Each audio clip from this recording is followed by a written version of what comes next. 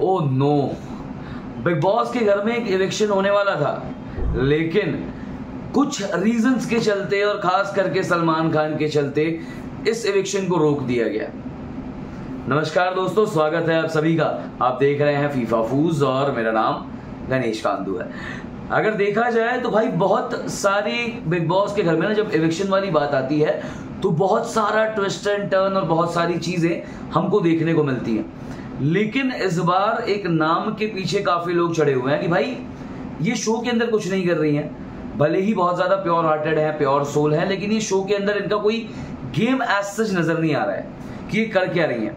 भले ही बाहर इनकी फ़ैन फॉलोइंग बहुत अच्छी खासी है, बाहर इनको पब्लिक बहुत ज़्यादा सपोर्ट कर रही है, लेकिन ऑल दो इनका गेम क्या है, ये किसी को नहीं पता। मैं बात कर रहा हूँ मुस्कान बामने की। दोस्तों, पूरे के पूरे सोशल मीडिया पर यह खबर फैली हुई है कि मुस्कान बामने इस हफ़्ते इविक्ट होने वाली थी। उनके इविक्ट होने के चांसेस बहुत ज़्यादा थे, लेकिन इस हफ़्ते दिवाली सेलिब्रेशन होने वाले हैं बिग बॉस के घर में, और शायद इसी के चलते नो एविक्शन वाला कांड भी होने के चांसेस बहुत ज़्यादा है। रीज़न सलमान खान बताया जा रहा है, ज़ाहिर सी बात है, सलमान सर जो है, वो वीकेंड का बार होस्ट करने आने वाले हैं। अजय देवगन, रोहित शेट्टी, अरबाज खान और उसी के साथ साथ अरशद वारसी ये सभी लोग जो हैं, वो आने वाले हैं सेट पर। दिवाली सेलिब्रेशन वाली बातें चल रही हैं और इस बीच रेयरली कभी ऐसा हुआ है कि दिवाली में किसी का इवेक्शन होता हुआ देखे। वरना तो ऐसा होता है कि दिवाली की खुशी में नो इवेक्शन बट पूरे सोशल मीडिया पर यह बात फैल गई है कि भाई मुस्कान इज़ सेफ़ अब मुस्कान एक और हफ़्ते आराम से निकाल लेंगी। मुस्कान बिग बॉस के घर के अंदर ही रहेंगी।